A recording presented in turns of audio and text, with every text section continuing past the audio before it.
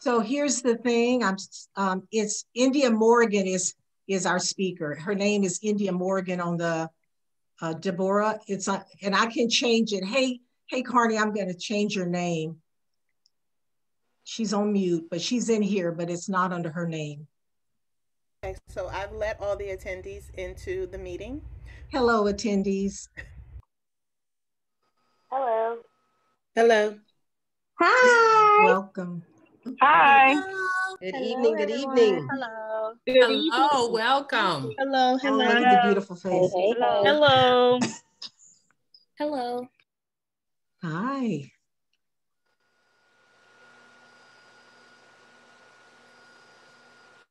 Afternoon, ladies. Well, it's 6.03, ladies. Shall we begin? Or give it one more minute?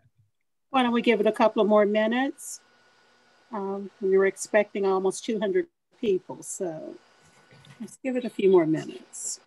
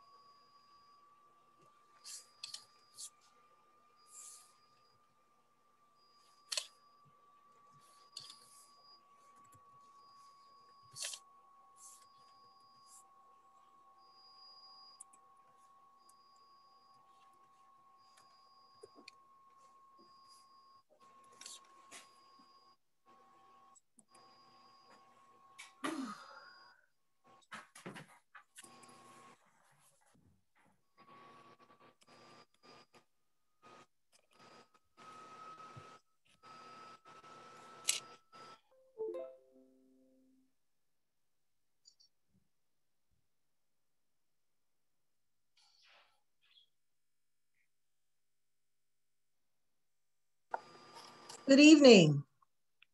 Good evening, uh, sorors, ladies, and hopefully gentlemen.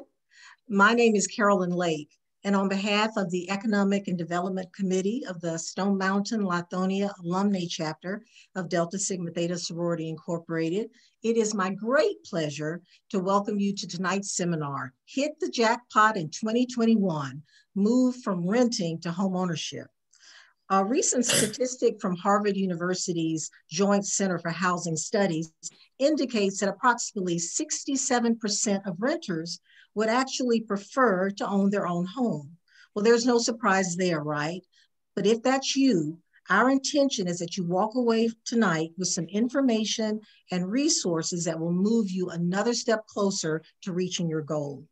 As a full-time realtor, I want you to know that what you've heard about the market and this being a great time to purchase a home is absolutely true. Interest rates are at historic lows, so your money will actually buy more home.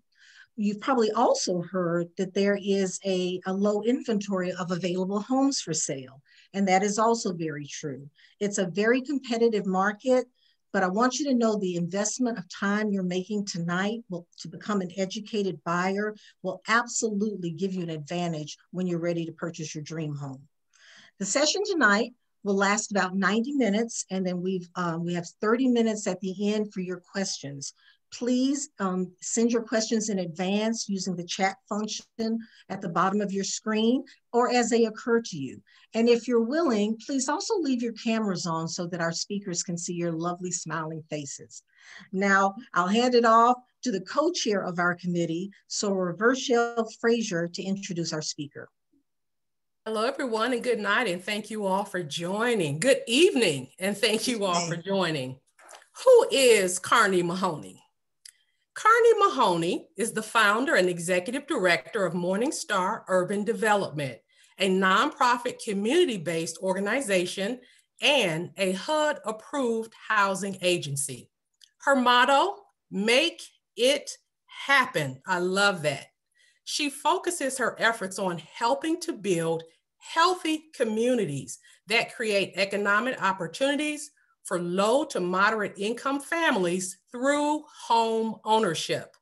She is a widely sought after speaker because of her expertise in real estate and mortgage industry.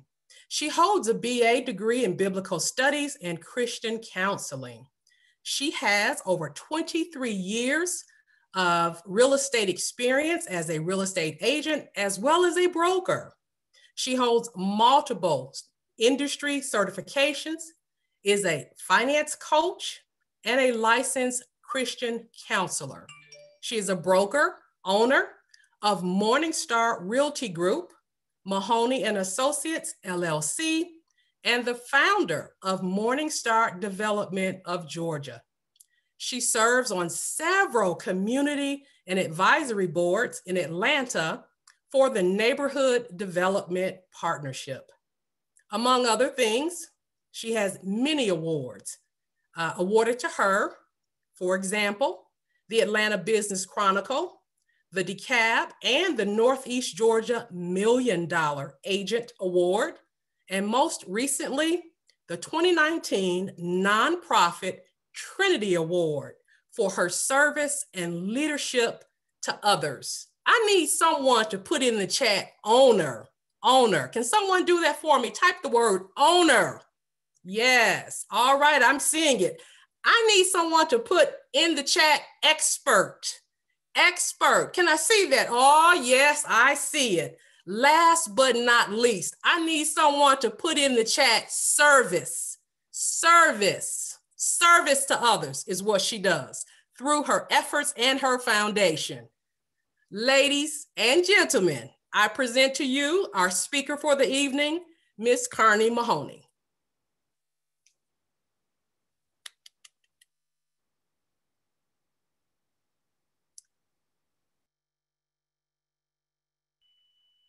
You're on mute. Can you hear me now? Okay, Perfectly. great. I was just saying hello and God bless you. And I'm so glad to see so many beautiful ladies online. And it is my pleasure to be here with you tonight. I'm hoping that we can actually get some new homeowners out of this and help to spread economic wealth, right? All right, so um, I'm going to start my presentation. If you could um, allow me to share my screen. Okay.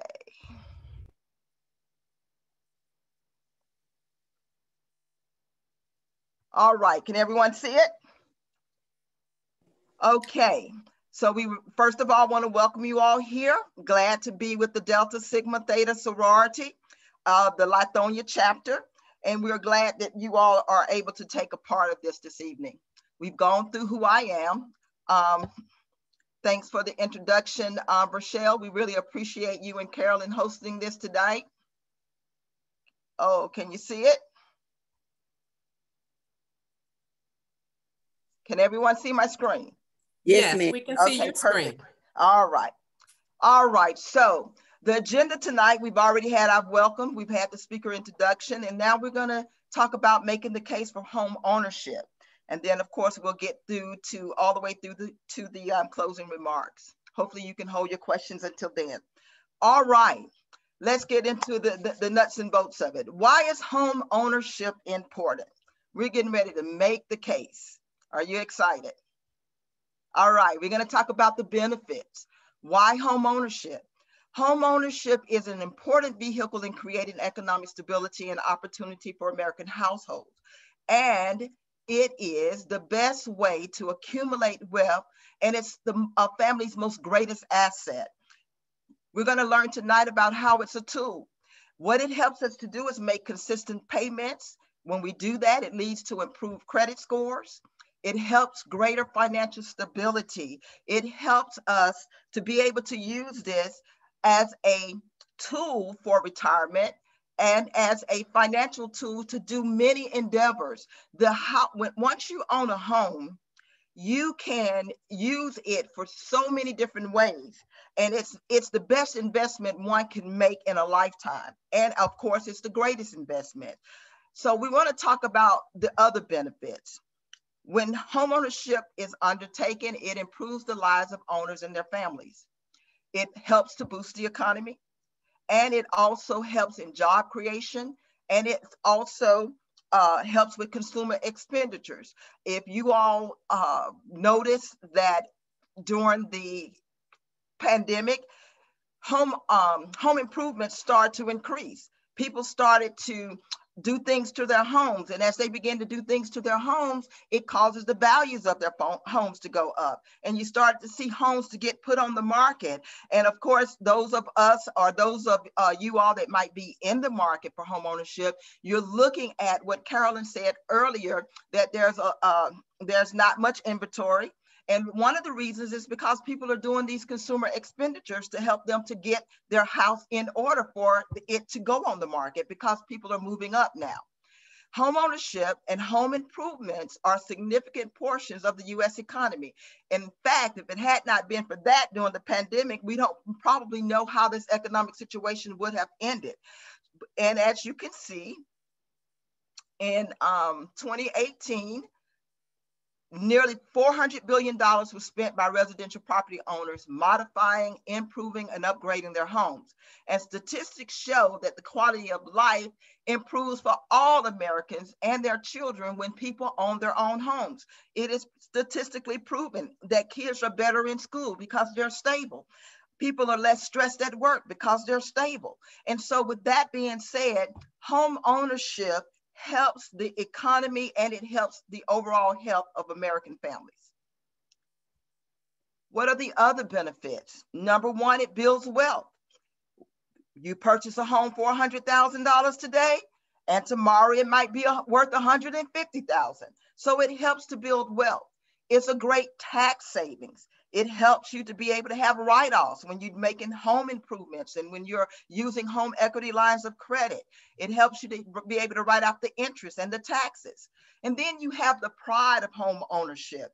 You can put flowers in your home yard you can you can make it as beautiful as you want to. You can paint it any color you want to. And it's the pride of home ownership. You can put flowers on the porch and rocking chairs. It just gives you great pride and sense of pride when you own your own home. And then let's look at it by way of security. It gives you a secure future because you don't have to worry about the roof over your head as long as you're taking care of it right? And it helps you to build good credit Everybody knows that when a mortgage is on your credit report, it makes those credit scores soar, especially when it's being paid on time. So it helps you to build good credit. Now, as we're making this case, let's talk about home ownership and the disparity that is done by race. Many of you all have heard, Black home ownership is one of the lowest among all races. 44% of Black households are homeowners in comparisons to 73% of white households.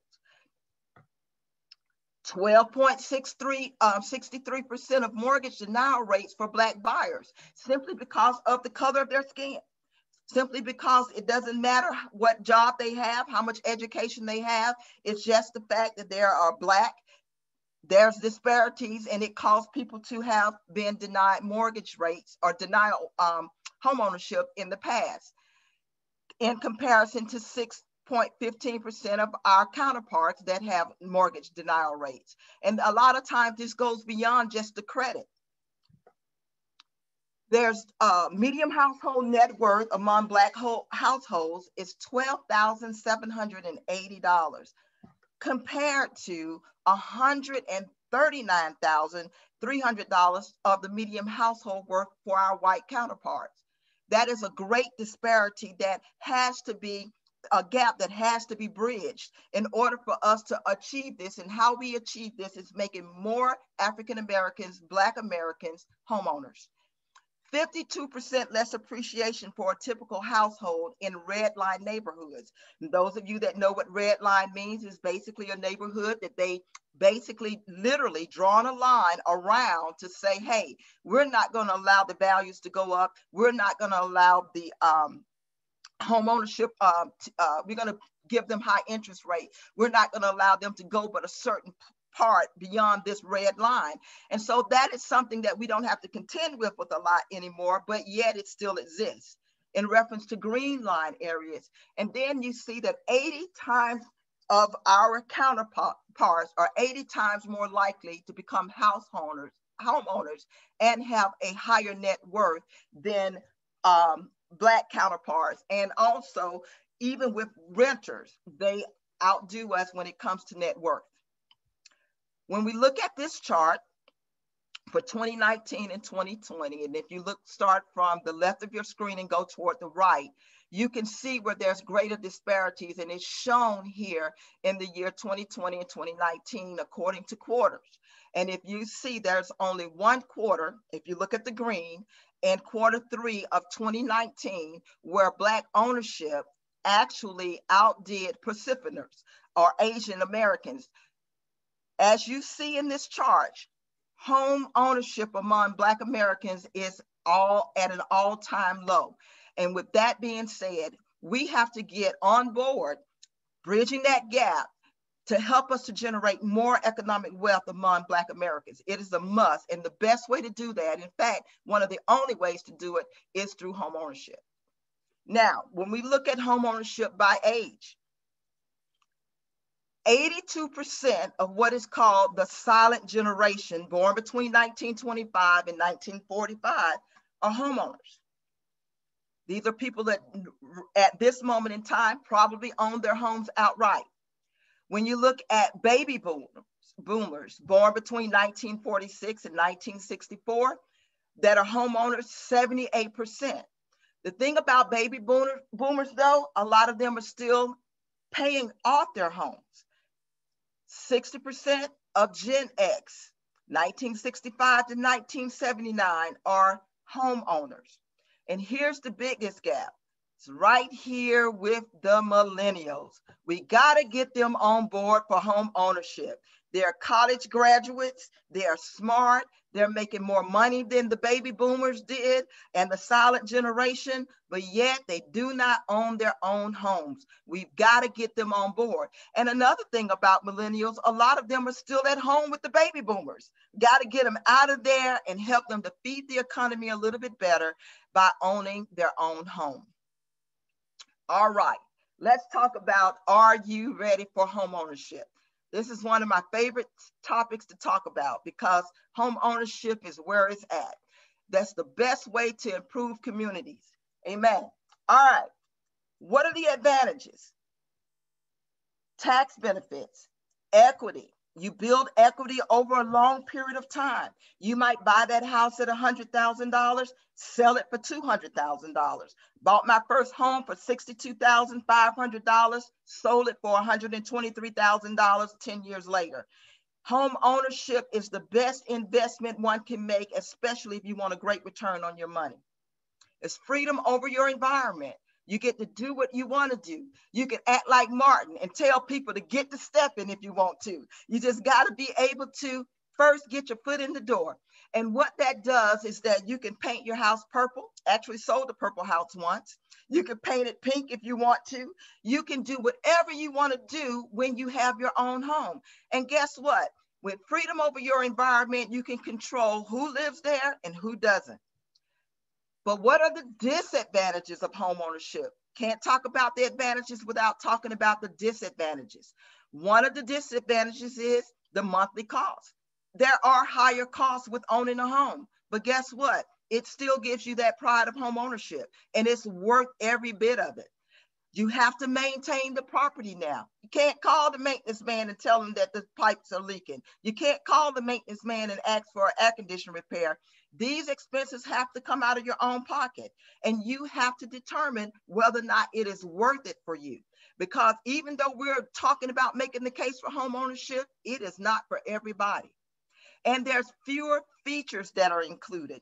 And it's also de decreased mobility. Now, where you might be in an apartment complex and you have a pool and you have a gymnasium, might not get that where you live because it called it's called HOAs or homeowner associations. It's going to cost you more to get those amenities or those features. And then you can't pick up and move when you get ready. Now, if you're going to purchase a home, you need to be plan on staying there for a few years because of the fact that just because you don't like it, it is not that easy to move. And that's what we mean by de decreased mobility. All right, let's talk about the responsibility of home ownership. On time mortgage payments, it helps to improve your credit. Now you're going to have what they call property taxes, and they go up every year. And that's good because as they go up, you know that the value of your home is going up. And you have insurance. You have to pay for that yourself. And then you have repairs and maintenance. Also, you have to purchase your own appliances and equipment. Keep in mind, again, like we just said, one of the disadvantages is, is that you can't call the maintenance man to fix these things. And if the refrigerator breaks down, you have to be the one to replace it. So that's a great responsibility. And you have to determine, is it worth you taking that leap to home ownership? All right, here's some things to start thinking about. A lot of things that you might do now. You might go shopping. You might go on vacations. You might can buy an outfit every week. You have to think about whether or not those things are worth you giving up. Might not have to give them all up. You might can't do it every time you want to do it, but you have to think about if those things are worth giving up for home ownership. You got to think about how are you going to come across this down payment that's needed. And you got to think about those monthly payments. Are they going to be higher or are they going to be lower than where you are now? Let's dig a little deeper. Let's talk about the purchase cost for home ownership, loan fees, credit report fees, the appraisal fee, earnest money deposit, and the down payment. That's one of the things that we talk about before we can get you on this road to home ownership. Got to take all of that into consideration and think about how you're going to pay for all of these items. And last but not least is closing costs. You're going to have principal, interest, taxes, and insurance. And here's one thing that I can say. People always ask me, well, are, is my mortgage payment going to be fixed? Yes, it is. But the taxes and insurance can go up. So that's what makes the mortgage payment go up. But guess what? It's still worth it for home ownership and opposed to it's going up every year. Some years it might even decrease. You got to have mortgage insurance. The mortgage insurance is to protect the lender in case of foreclosure or in case of default. And guess what? They make you pay for it. So it's a cost that you have to consider when you're getting ready to purchase a home. And basically that has to do with the type of loan that you get, but we're not going to talk about that quite yet. Then one of the things that you have to also consider, and this is an upfront fee, you gotta consider what is it gonna cost to move. Now, if you've been in a place that you have been preparing for home ownership and you're just buying things and stacking them up, well, somebody's gotta move them. so you gotta have some moving expenses um, calculated into those costs. And one of the things that you must have, you should always consider, even, even if you're not going to buy a home, is having an emergency savings fund. You always got to prepare. My mom used to say, prepare for war in the time of peace. You got to always prepare for those emergency situations that might arise, all right? And sometimes they arise soon as you move in the house, but guess what? Again, it's worth it. Now, I hope I'm not going too fast, but we're going to get into the professionals in the home buying process. Listen, you need a team of professionals working for you, and you need to know who your team is and what they consist of. Number one is you need a housing counselor. That's kind of what I do. What we do is assist you with the process and the barriers to home ownership.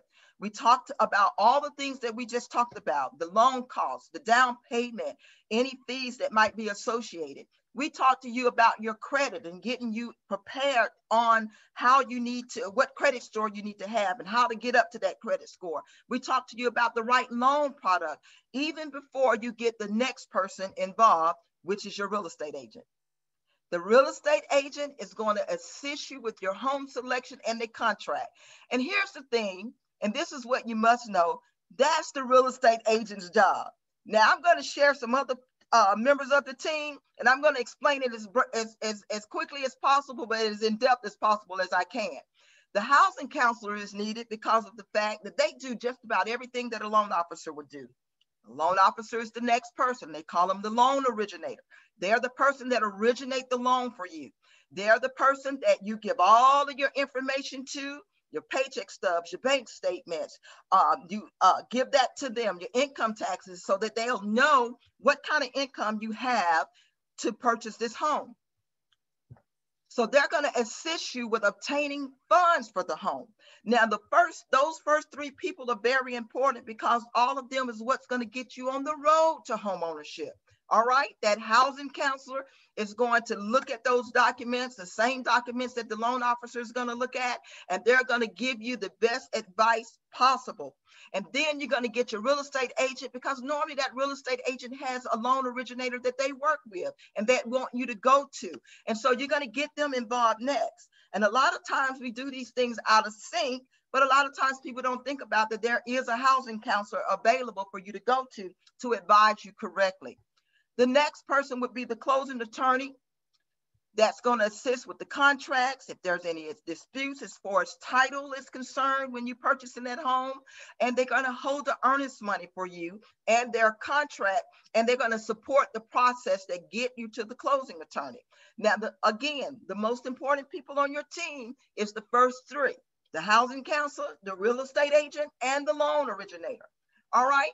The other people on your team will be the title insurance officer. This is somebody you'll probably never meet, but they're the one that's going to do the research of the or the title on the property to make sure that there are no other liens and encumbrances on the property. That when at the time of closing, that property is going to be transferred to you free and clear and with no problems that you're going to be able to proceed as far as ownership is in the future. You're going to have a home inspector. That home inspector is going to be probably after the other three, the next important person. The reason being is because they're going to look at that house from top to bottom, from the from the attic down to the foundation to make sure that there's no issues concerning their house. And if it is, that they be addressed before you get to that close table. So you definitely want the home inspector on your team. Listen, that home inspector do not need to be Uncle Joe.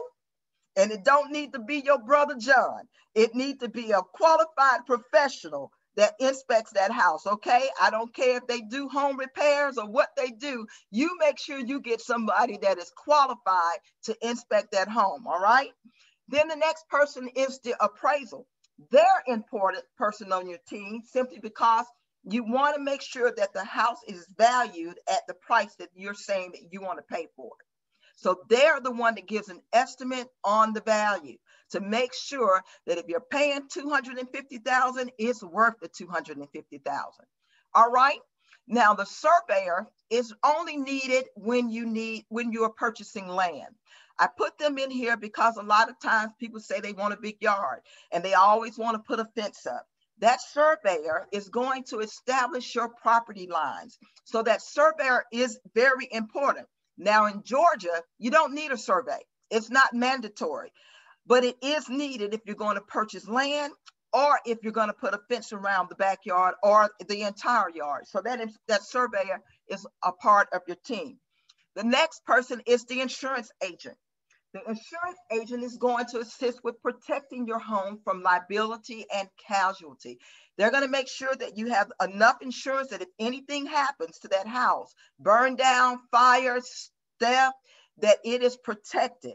And I always tell people that the moment they get under contract with the real estate agent, to go ahead and call that insurance agent and find out what that insurance policy is going to cost you and to find out how much you need to have it insured for.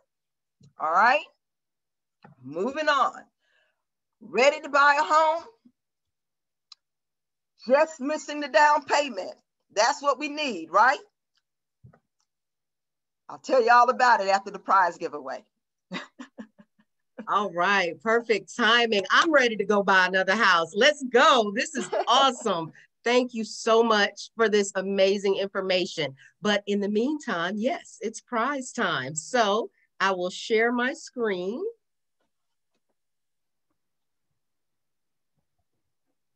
And we did have, um, see,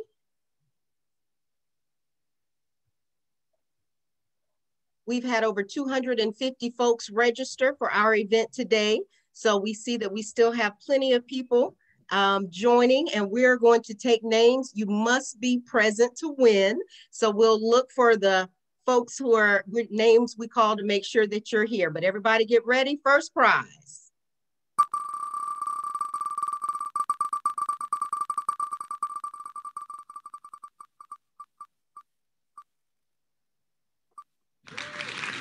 And our winner is LaShawn M. LaShawn M is our first winner. We have an e-gift card for you. Thank you so much for joining. Is LaShawn M present? LaShawn M is present. LaShawn Martin. Awesome, awesome. Thank you for that verification. Okay, let's go to our second prize. We'll take LaShawn off and next.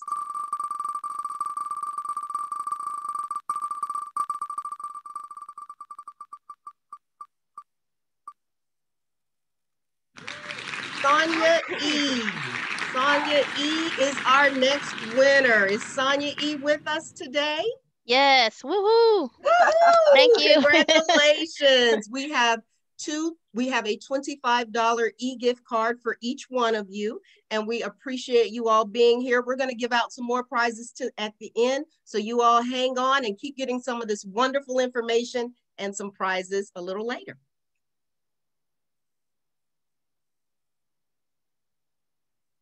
Stop sharing. All right, and now back to Ms. Mahone so we can learn some more awesome information. Okay. So, congratulations to the winners. All right, let's get to the next part. Down payment money is available, but you got to see if you're eligible. So, the down payment programs are Georgia Dream, where you can get $5,000 to $7,500 the Cabin Gwinnett, anywhere from $5,000 to $8,000. And Invest Atlanta, if you want to live into the, in the city of Atlanta, you can get up to $40,000 and you need it in the city of Atlanta.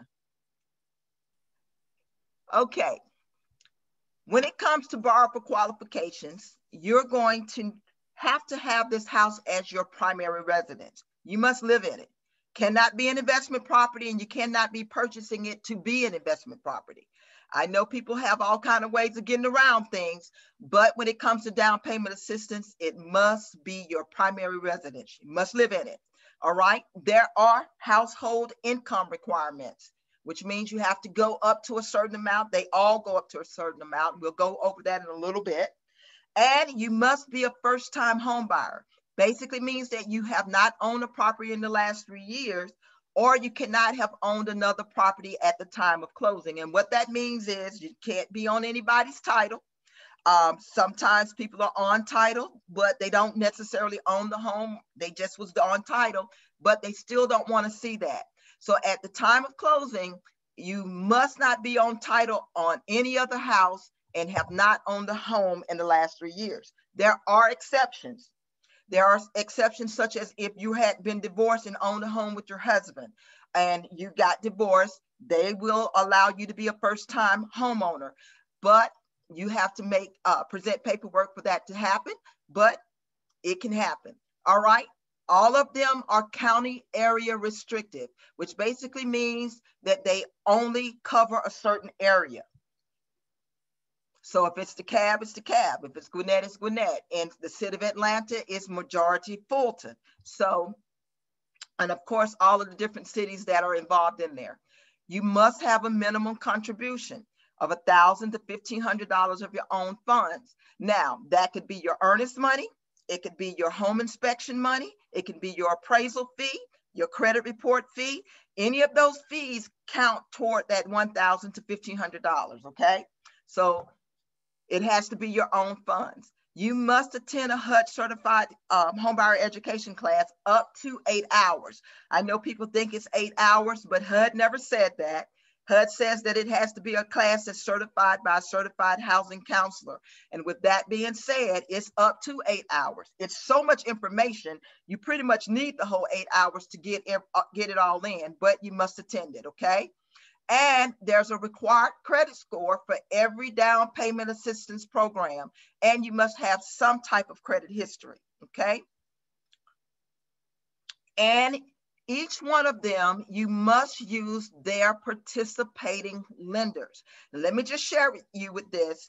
That's where a lot of people get in trouble with they want the down payment assistance, but they go to a lender that's not participating in the down payment program that they're seeking after. They all have their own list of lenders. So when you get to that real estate agent and they're going to tell you to go with one of their lenders, make sure you, number one, let it be known that you want down payment assistance. And number two, find out if that lender is a participant on the on the down payment assistance program list all right?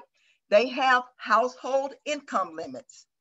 There are debt to income limits as well, which basically means that your payment, your mortgage payment, and the amount of debt that you're in has to meet that program's criteria, okay? And they normally want you to have at least two months minimum or and up to 10,000 maximum of savings. Now listen, when you get over to $10,000, then you might not qualify for down payment assistance because they might feel like you can um, contribute to your own down payment. But there are ways around it. We'll talk about that in, on another session. And there's no exceptions. These down payment assistance programs mean what they mean, what they say, and they say what they mean, and you have to meet them accordingly. Okay. All right. There's maximum purchase price limitations. We'll talk about that in a minute, that you can go up to a certain dollar amount. There are geographical limitations. Again, county specific, certain neighborhoods. They have what they call LMIs, which is low to moderate income neighborhoods. They have certain census tracts that they will give you more money in. So those things are questions that have to be asked and identified at the time of you seeking out down payment assistance, all right? Now, all of them wanted to be a single family home. However, it can be a condo, it can be a townhome, and you can purchase a duplex or a fourplex, believe it or not, as long as you're going to live in one of them. As long as you live in one of them, you can even get a government loan to purchase it. And you can rent out the other unit or the other three units, but you must live in one as your primary residence. You can buy newly constructed or existing. And some are second liens, which basically means that they are give you the money up front, but they hold it in second position as a lien in the event that you want to refinance or move out of the home later. And the reason why they do that is so that they can fund the, the, home, the down payment assistance program, number one. Number two, they want you to stay in the home because they know that home ownership helps to to um, stabilize communities. And so they want homeowners in there, which is why they would give you the help up front. It'll be a second lien, but it's a solid second. And as long as you stay in the home, doesn't have to pay it back. The funds can run out at any time. And the only one that does not run out is the Georgia Dream. Okay. Is it prize giveaway again? Well, we can yes. do another one. We were uh we're ready? Ready do number you all are. Okay, number three and four, or just three? Um, number three and four is what I have. Okay, let's go. All right, so I'll share my screen.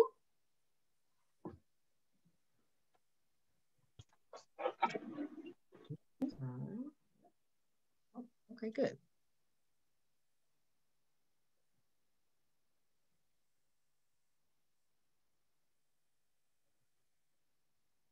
All right, and we're ready for our next prizes, three and four. Here we go.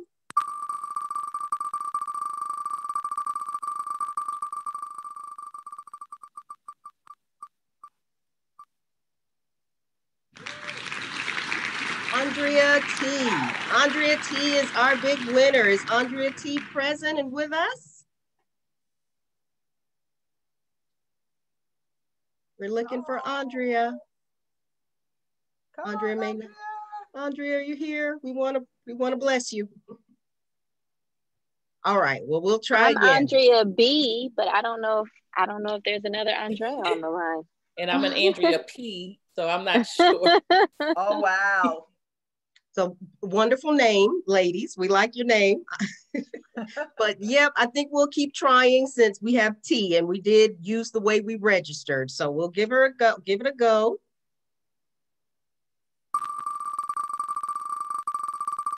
All right, big money, big money, big money.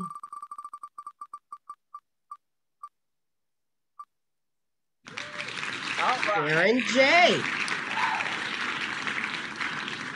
Is Sharon J with us? Yes, I am. All right, Miss Sharon, congratulations, congratulations. Thank you for being here. And for our fourth and final winner,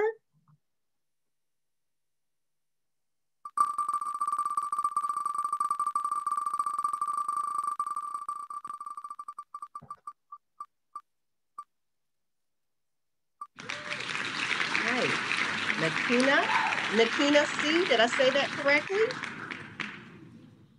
Is Nakina with us? No, is not with us. Oh, all right. Well, that's why we've got all the names present to win. That's okay. One more time.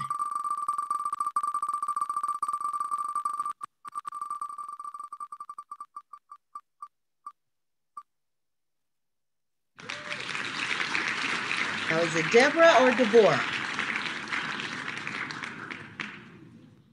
Deborah E or Deborah E? Deborah E is not here, but Deborah M will take it.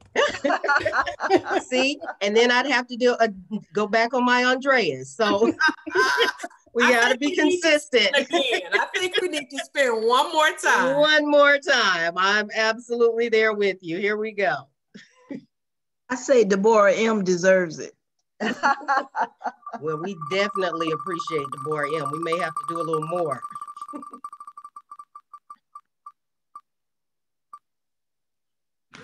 All right, Lori W. Come on, Lori W. Are you our big winner? Laura,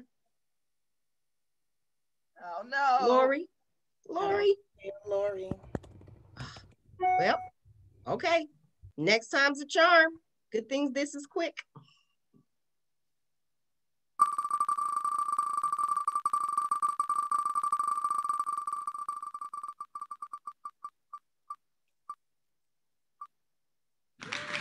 All right, Tawana H.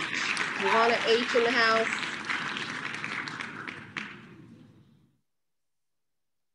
We see Tawana. Tawana, no.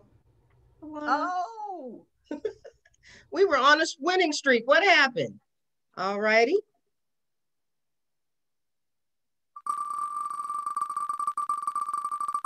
We go.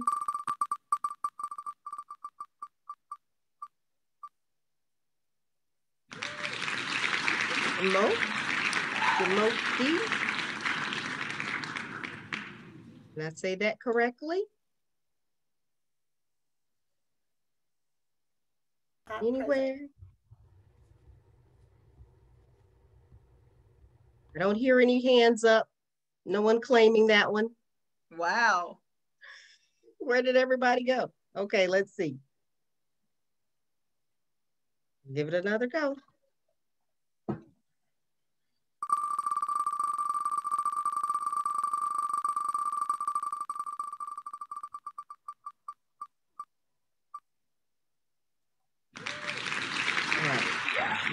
Lamisha.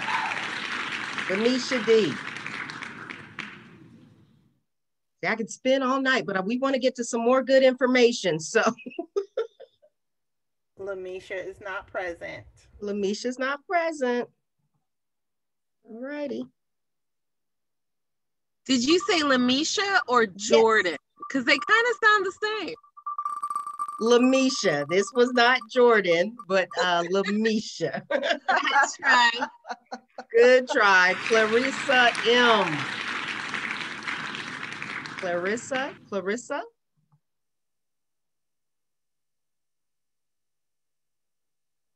Where did everybody go? Present. Did I hear a present? She's not present. She's not present. Okay. All right. One more good time and then we'll move forward. If we have another one towards the end, we'll come back. Is that fair?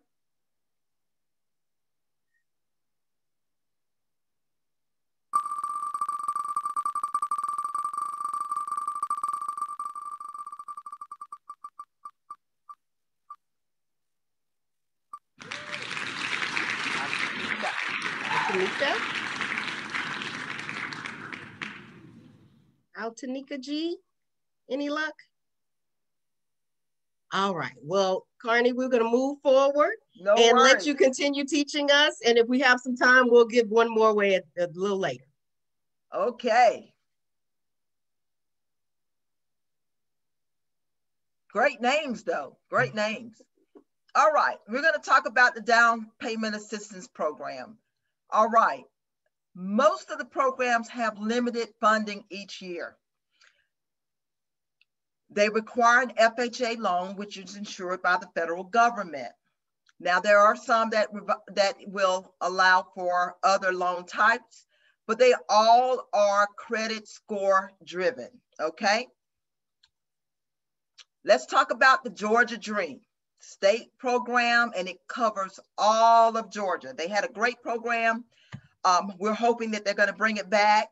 Uh, it only covered certain areas, but it was a lot of money. It was like $15,000. And it was a grant and didn't have to be paid back as long as you stay in the house for five years. The standard Georgia Dream, all eligible home buyers qualify for at least the $5,000. Okay. And if you are an employee of uh, public protection, military, healthcare field, or education, you qualify up to $7,500. And so a lot of people take advantage of the Georgia Dream program because of the fact that it basically allows anyone to be a part of it. All right. Then you have that it's an FHA loan. It's again, it's it's government loan. It's a silent second and it's used in conjunction with the Georgia Dream First Mortgage Loan. Keep in mind, it, it must be a participating lender, okay? And that participating lender is the one that you qualify with first. You'll go through, be qualified, you'll be approved, and then they package that loan up, send it to Georgia Dream, and then they do a separate underwriting and it gives you the, the down payment assistance that is, is a silent second mortgage. As long as you stay in the home, don't have to pay it back. And you must contribute at least a thousand dollars to the purchase transaction. Most of the time, that's taken care of when you give your earnest money or your home inspection or appraisal fee. All right. Let's talk about Invest Atlanta. It's a great program, absolutely great program if you're going to be living in the city of Atlanta. Okay. It's a 30 year fixed interest rate. It's up to three and a half percent or $40,000. Again, it's city of Atlanta only, and it's a 3.5% grant, which basically means you don't have to pay it back as long as you stay in the house and meet the other guidelines. It can be FHA or VA, and they are the only loans that they'll take. All right. And you must qualify for the first mortgage with a participating lender. Keep in mind, the lender must participate in these um, down payment assistance program, and keep in mind that not, not all lenders do. All right.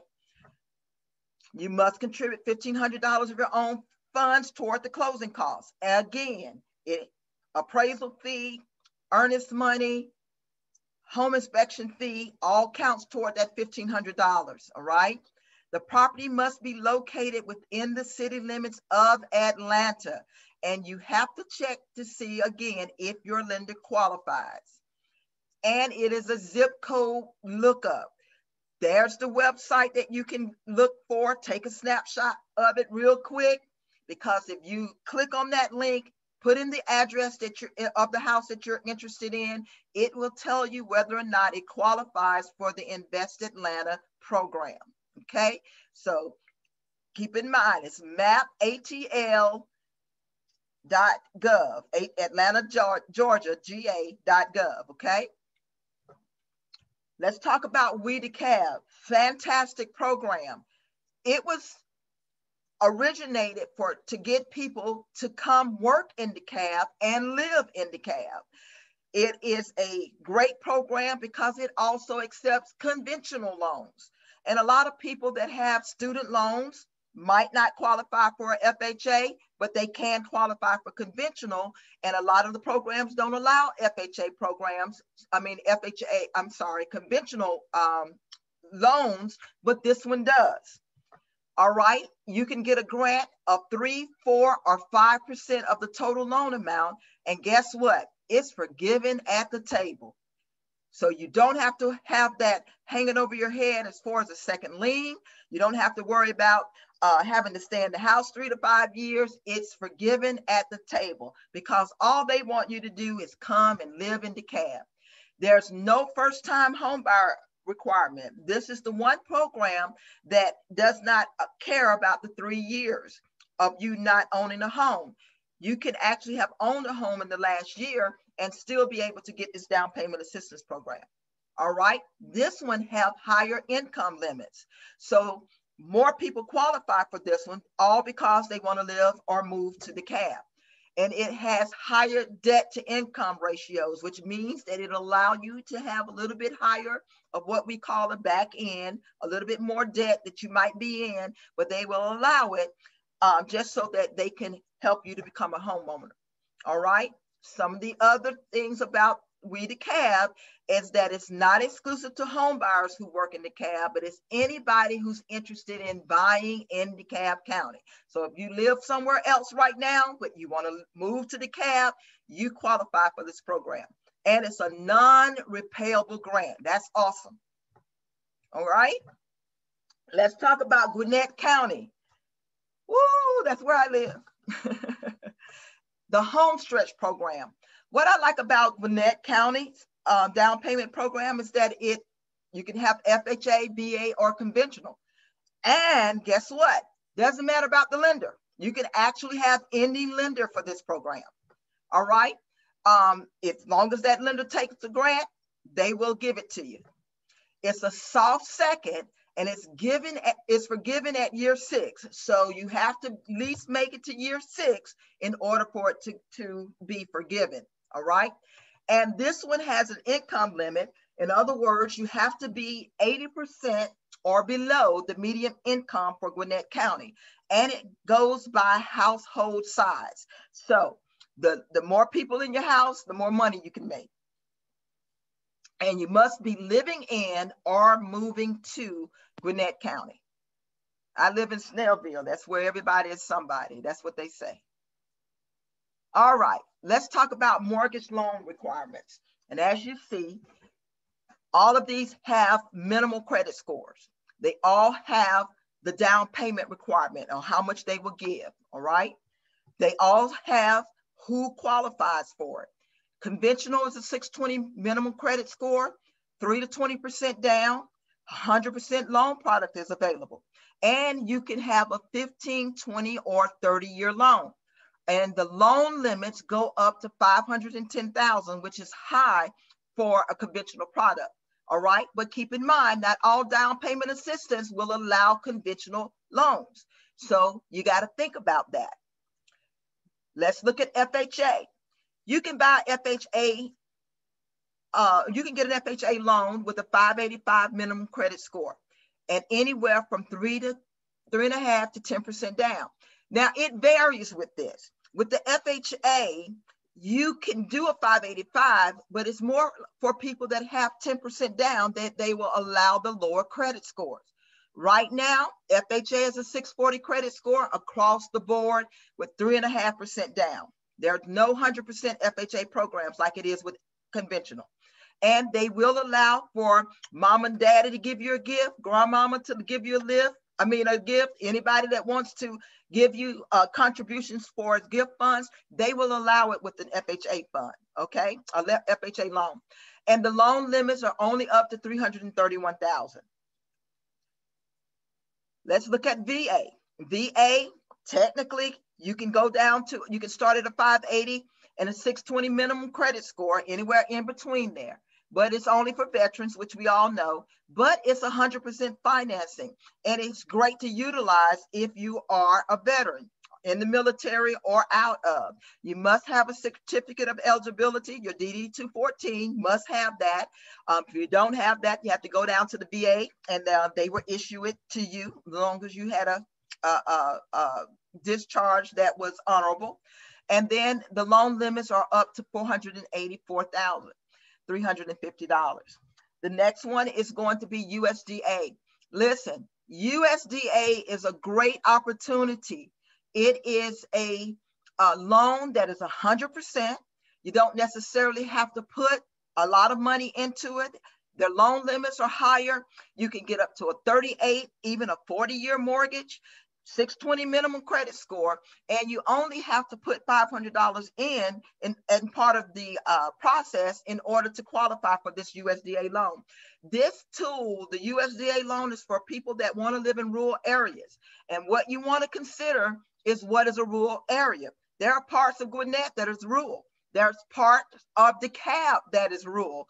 There are parts of Rockdale and Newton County that is rural, that people, if you don't mind driving into the city, if that's where you work, you need to consider this USDA loan. The interest rates are great and you get a lot of props with it.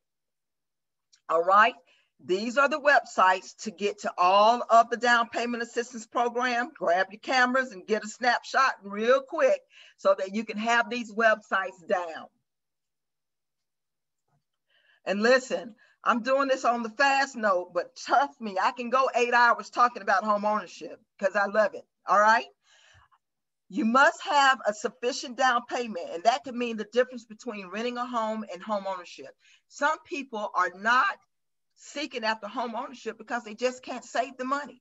But that's the purpose of down payment assistance. If you can get at least a thousand to two thousand dollars in a savings account, you should go for the gusto and go ahead on and go and take that next step into moving into home ownership. Hi, you Carly, can, can I interrupt you for just sure. one moment? I know you know this frontwards and backwards, and we can tell. But if you could go back to that one slide, just one slide back, by the time I grabbed my phone and my camera, you had already moved to the next one. I'm and sorry. I definitely want to capture this. This is awesome information. So just if you guys have your camera, go ahead and snap a picture. Thank you so much. You're welcome. And the, the DCA is the Georgia Dream, so make sure you definitely write that one down. And of course, We DeKalb is the Decide DeKalb and Invest Atlanta. And then you can learn a lot about the uh, Gwinnett Homestretch on their website. Let me know when to proceed. I think we're good. All right. Thank you so much. You're welcome. All right. So savings is a means of down payment, private gifts and loans, a second piggyback loan.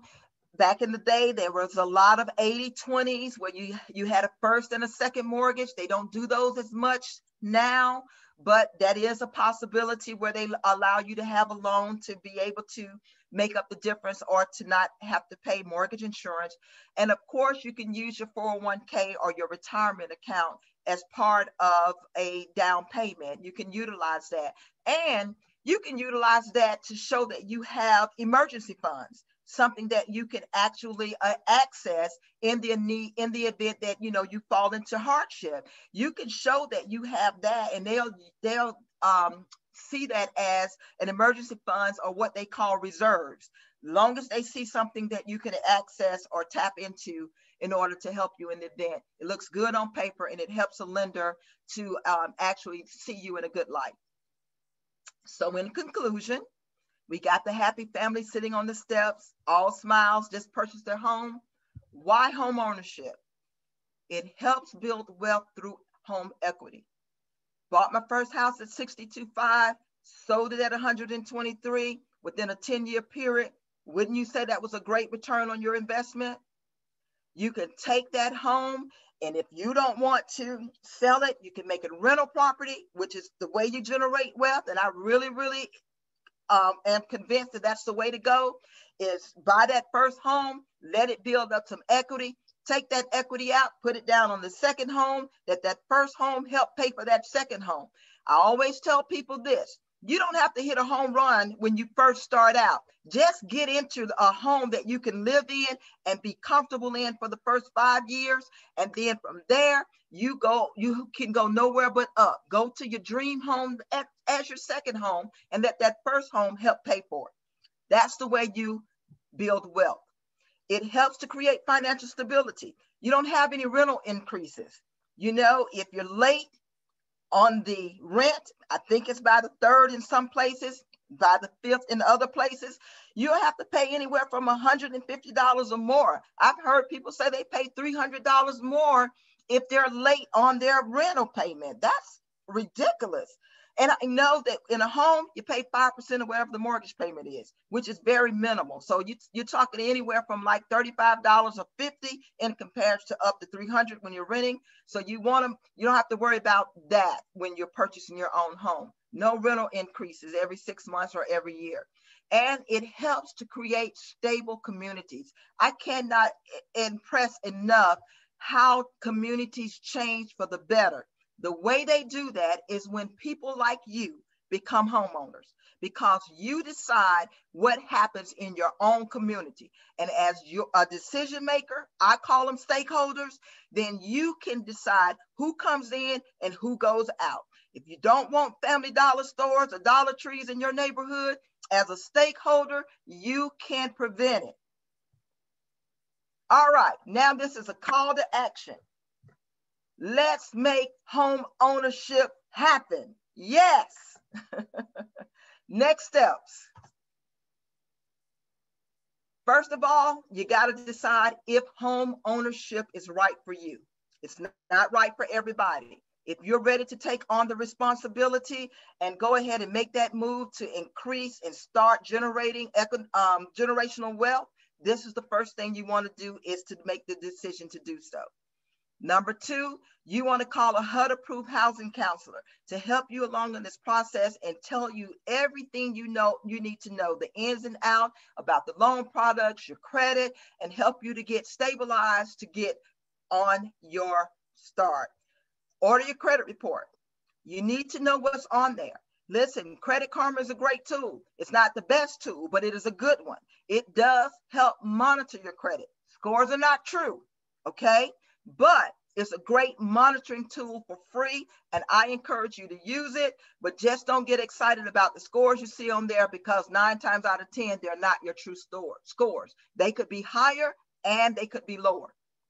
Complete a homebuyer education class. That's where you learn all the good stuff, the ins and out, mortgage products, what the back end and front end ratios are, truly about the down payment assistance program, go more in depth into that. And so you want to attend that and you must attend it in order to get down payment assistance. All right. Then the next steps you want to do after you've done the first four is get approved by a lender, find out how much you qualify for, and then contact a real estate agent to get you out and looking, right? Questions and answers. Are you ready? Don't want my picture there. Okay. First of, well, first of all, let's give Carney a big round of applause, even if it's silently. Carney, fantastic job.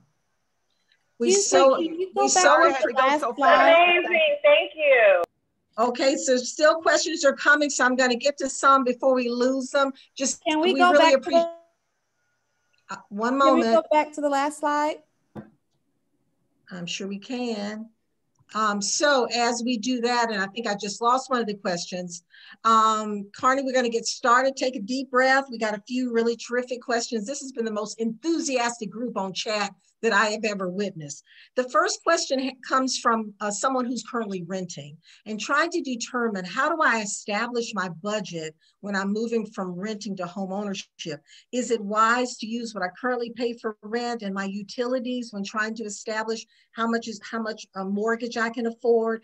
And to that end, when a lender is evaluating my credit worthiness, what do they take into consideration my rental payments and how consistent I've been on making my rental payments? Absolutely. They do take that into consideration as to how you've maintained your rental payments. And when it comes to your budget, what you want to do, because that's very important, because you live out of your net income, you want to be able to establish how much mortgage payment that you can pay comfortably with your current income, your bring home pay. So definitely that budget, you do need to take all that into consideration because determining on the, the house size, your utility bills can go up. So you want to definitely take that into consideration. Okay, very good. Um, so here's a question I think related to uh, the conversation about whether you could have owned property in the past and still um, still uh, qualify for down payment assistance.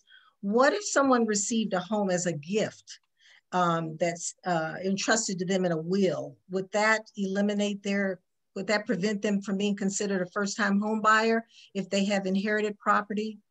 It depends on the lender and it depends on um, whether or not, if your name is on the title, they do consider that as owning a home. So, but that, that particular um, situation will depend on the lender. You will so probably I would recommend, have to pr prove that you did not um, have to purchase that home. I would recommend to that uh, questioner to uh, to do some further inquiry and just have a conversation about that. Another terrific question came from someone who's expecting a baby in March. All right, congratulations. And she, uh, yeah, and she wants to know how would that her, the the fact that she's pregnant would that um, how would that impact her ability to get a loan or close on a home but i think she's got to get a loan first. So it, with, it, it, shouldn't as long as you're still get, getting income. Shouldn't affect it at all. If you're going to take like a years long maternity leave i'm not certain how that would impact her. Most lenders are going to want her to be have returned back to work. Okay. All right. Hopefully hopefully that helped you out. And then here was a great question uh, about refinancing once you uh, have participated in one of the down payment assistance programs, like specifically Georgia Dream. Supposing you have uh, you got the down payment assistance about four years ago, and now you're ready to refinance. Can you do so without that in any way being penalized or or having your your down payment assistance taken away? You certainly can, as long as you're not taking cash out. If you're just re refinancing to, to reduce the rate, you can do it with no problems. Georgia Dream will do, continue to subordinate, which means stay in second lien place. But if you're going to take money out, they're going to want to be paid back. Okay, very good. Uh, and another question, I think it's really a repeat of the original, of the earlier one about the, if you have inherited property and perhaps your name is on title with other um, with other beneficiaries, how that would impact your status as a first-time home buyer. Again, I think you, uh, the, the lender will probably want proof that that's the situation. Okay, now here's some folks that are ready for some classes and they wanna know whether we can do our home buyer assistance classes via Zoom now.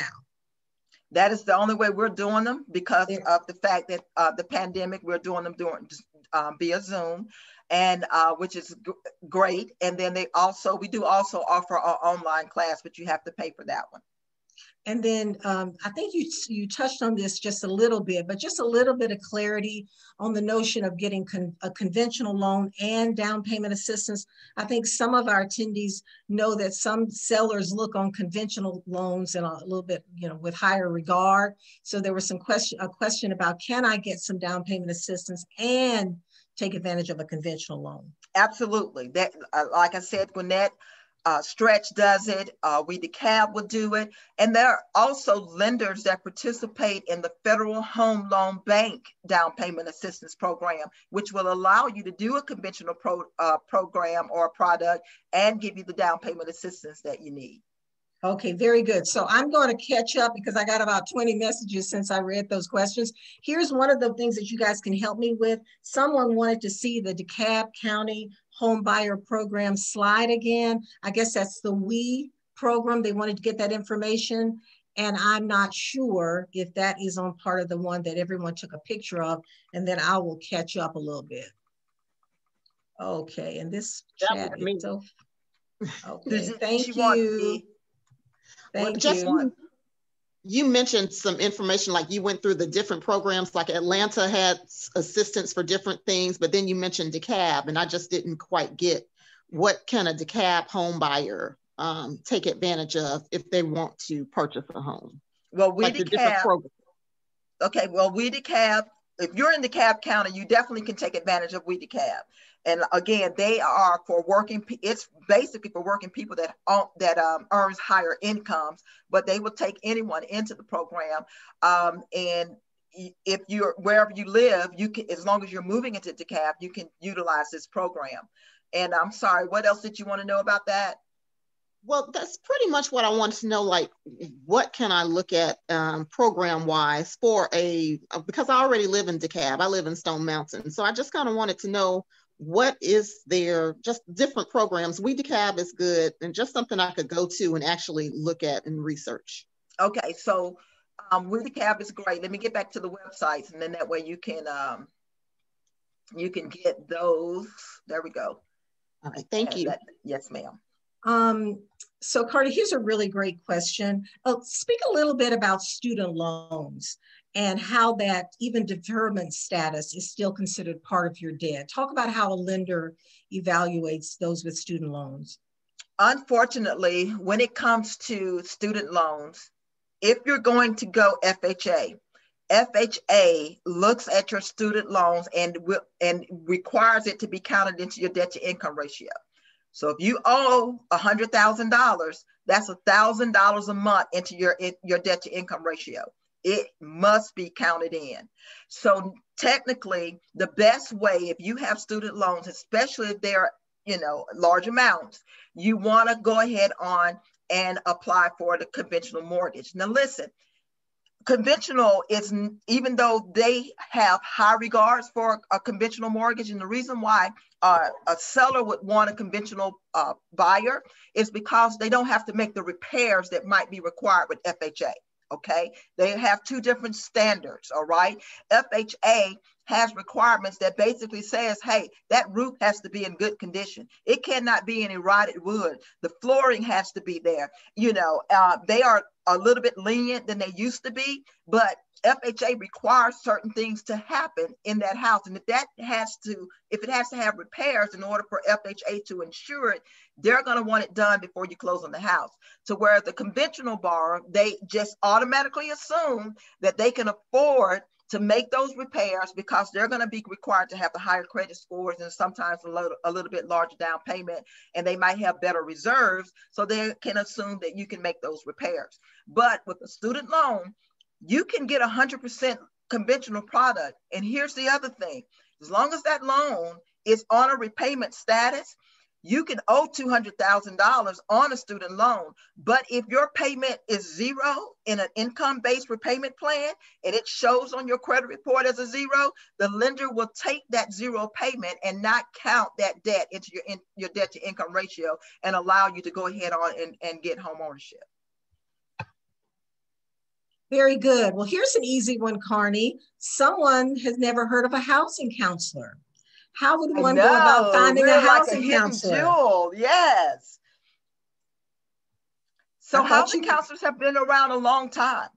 Um, housing counselors became more prominent when the economic downfall happened with the real estate market it, when 2008 9 10 11 and 12 happened so what happened was is that so many people had bought homes received down payment assistance and when the uh, housing market crashed a lot of people walked away from it and if those people had been educated or was able to get the information that they needed to not walk away from their homes, they probably would not have, and the economic um, downfall would not have been as bad. So what HUD has said is that, hey, we're going to make this a requirement for down payment assistance program for them to understand what it takes to obtain home ownership and how to sustain home ownership.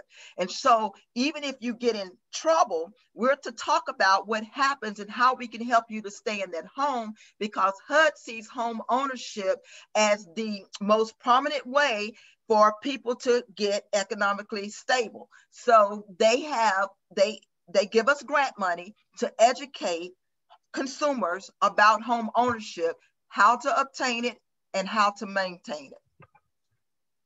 Very good.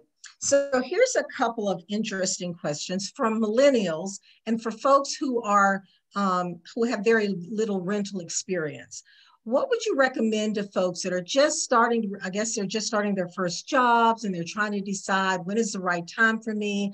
Perhaps i've only rented for a year and how will a lender look at that? And then also carney what about the folks that are saying hey i'm going to live with someone else and save a few bucks. How will that be um, evaluated?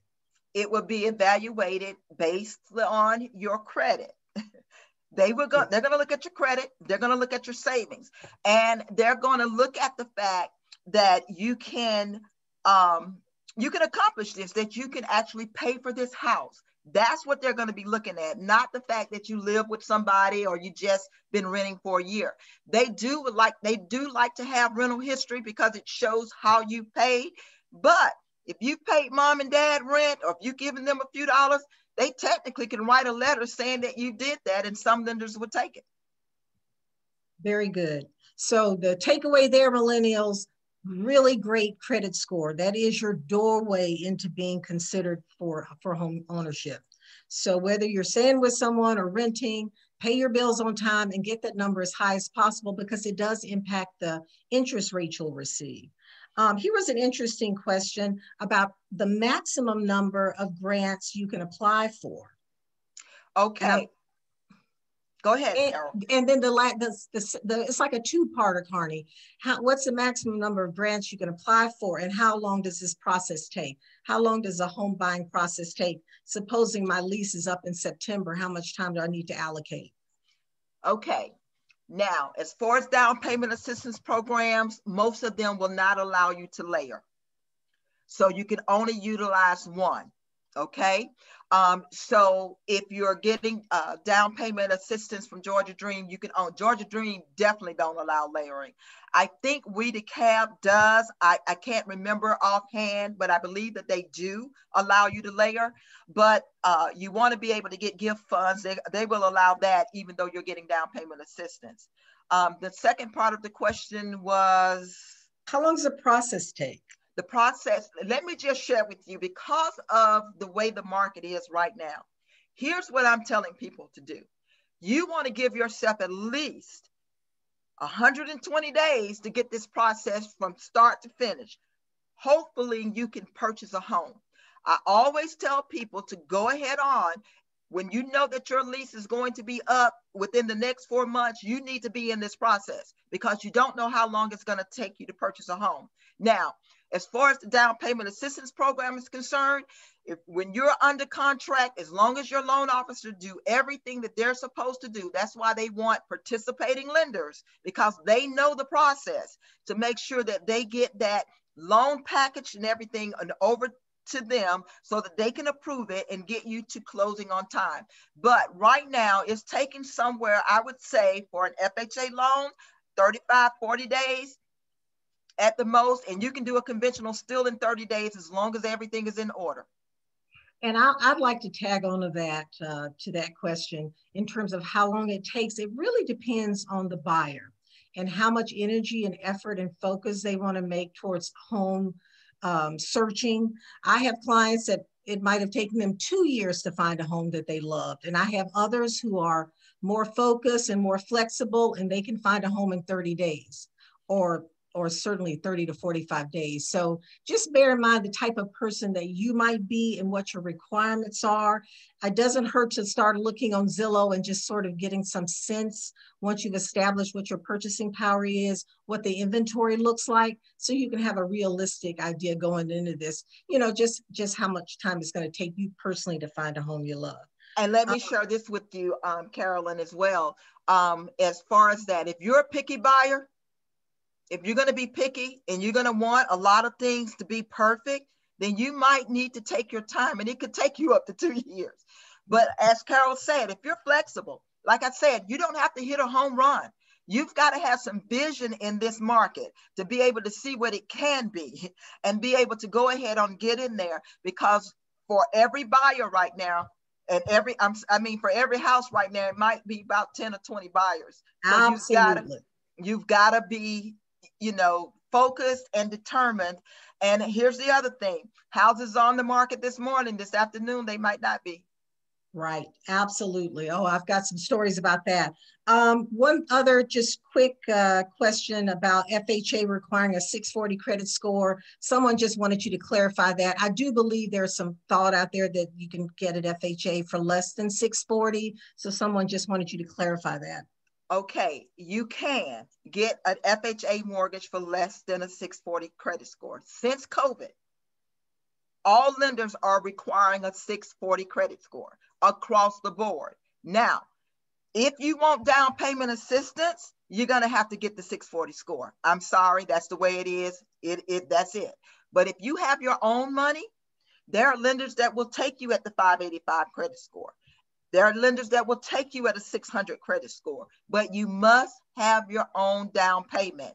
What they're called is lender overlays. And what that basically means, FHA requires 585 credit score with your own down payment, but the lender that actually loans the money are the ones that says, I won't buy that paper. In other words, I won't buy the mortgage or fund it unless they have a 640 credit score. Very good. Um, so someone asked about President Biden's 15,000 homebuyer tax credit proposal. How would that help new homeowners? I'm not familiar with that one. I'm not familiar with that either. Um, I hadn't heard that one yet. But let me uh-huh. say this normally, when there's an incentive, it's going to help owner home buyers because it's going to give them more down payment assistance to be able to access. Just like the um, at the end of last year, August of last year, there was a Georgia Dream program that allowed fifteen thousand dollars, but there was requirements for that for that grant. You could only buy resales. You could not buy new construction and you still had to stay in the house for five years. But it was a diminishing grant that every year diminishes by 20%, and it was forgiven in year six. That could be what he's talking about, but I certainly hope that something like that comes down the pipeline. Um, so another question about apparently we got a lot of folks that are inheriting property. So would a lender be able to um, locate or see your name attached to another property if that property is in another state? So you remember when I said that there was a title insurance officer? What they do is they run a check on your social security number and they look to see if there's any liens or any encumbrances on there. So if you inherited a property, there's a possibility even in another state it can be found because your name is tied to it. If there's a tax record, it's possible. Okay, very good. Um, so let's see, uh, regarding your initial down payment, how do you feel about borrowing from your 401k or just saving the money on your own? Saving the money on your own is always the first choice, but borrowing from your 401k is an excellent choice, second choice, simply because you're going to pay yourself back. Absolutely. So, borrowing it from your 401k is absolutely a great idea because you can also use it as reserves as well. And the thing is, is that you have to present that paperwork stating that you can borrow from it or withdraw from it because you might not want to pay yourself back. The lender is going to require that, but you can definitely do it. Um, question about do lenders use your AGI or your gross income? They use your adjusted gross income. Okay, and there was a question about whether it's cheaper to buy a home that's a new construction home versus a resale, a, re, a home that's available for resale. And I believe this person was was told that it's cheaper to buy a new construction home. Um, I, would like to chime in on that one. Um, generally, um, new construction homes, uh, the builders have a price point to hit.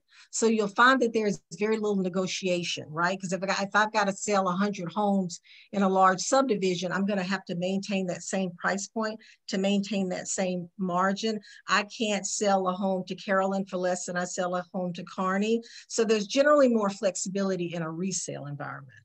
Absolutely. No uh, negotiations in new home sales. No negotiation. Yeah, the price offer, is what it is. Yeah, and if you're going to get into a new home subdivision, you want to get in at the beginning stages because by the time they sell 10 homes, the price is going up. Okay, and then are there any assistance programs for East Point and Hapeville? I guess Georgia Dream. Georgia Dream would be, and you know what? That is an area that needs assistance real bad because they don't offer a lot of programs but because of the zip codes. But yeah georgia dream would definitely be that. You can um yes georgia dream is about the only one. You can okay. also do federal home loan bank if you have a lender that participates in that. Okay i want to i don't want to forget this question because it was so lovely. Suggestions for newlyweds who hope to consolidate and buy a rural home together. You ponder that one while i catch up with the questions in the chat. So you said that they're wanting to know if they want to buy a rural yeah, suggestions for newlyweds who hope to consolidate, I guess, their possessions and their assets and buy a rural home together. Now, what suggestions would you like? I mean, it's a great opportunity. Let me tell you, uh, they're asking us as housing counselors to try to convince people to buy rural simply because of the fact you're going to get more house for your money out there. You're going to get more land. And again, that loan product, that USDA loan product is an ups outstanding product and you really, really want to look deeper into it. And so when you're consolidating your assets and everything, as long as you don't go over their income limits, you're fine. Um, there was another question about selling a home and whether you should sell to one of those um, investors that wants to just pay cash for your home versus putting it on the open market. Now, Carol, do you want to handle that one or you really want me to do it? Well, well I'll just, I'll put my two cents in. I will say that regardless of the condition of your home, putting your home on the open market is likely going to yield the best results, especially in this market, right? And I think what if you can, if you want to talk with one of those folks, that's fine, but also talk to a realtor and get a second opinion before you say yes. And let me just share this with you. And I'm going to call names, y'all get me later. Opendoor offer pad Mark Spain, they are offering cash for your home, but they still want you to pay them a commission. You might as well get a real estate agent that's going to be honest with you about what needs to be done. Not only do they do that, they also, if they say they'll buy your home as is, they're going to take off for the amount of repairs that needs to be done. And oftentimes, if you want top dollar for them to sell your home, they're going to uh, want you to pay for the repairs as part of the process. And I know this personally. I just went through this with my neighbor. She called all of them. yeah. You know, and I was shocked. And even some of them asked for a higher commission, believe it or not, than what the going rate is. It's a bait and switch. It's definitely, it, and I Absolutely. guess I should say that. And so I'm, share this with you too. Okay. A real estate agent, you as the buyer, they work for you for free. The well, seller p- pays them. Okay. Now, if you want to be able to get a new home or new construction or whatever, you need representation. That is why you need a real estate agent. And I hope that each and every one of you will inquire with one before you even get into this process well. Um, fabulous. Thank you for that, Carney. So I'm going to go back to a question that I asked early on, but I don't think that the answer was uh, clear enough, and I just don't want to leave this person hanging. They were asking, how do you establish what your budget is for the mortgage? And they're asking literally, is it wrong to assume that you can take what you pay in apartment rent, apartment insurance, and utilities and think, I'm just going to put that in my monthly mortgage payment? And I certainly think that's going to be one element of your monthly mortgage payment, but one also has to consider what, how am I going to, where am I going to get it, my down payment from, right? right? To pay the down payment on that mortgage and potentially any closing costs that aren't covered by the seller. Is there anything else you can add to that, Carney? Because I think I let that person down. Okay, so with that being said, um, as far as your budget is concerned, what you're paying for rent, because we often say you can, what you're paying for rent, you could pay less in a mortgage. You might have to pay more depending on what your expenses actually are.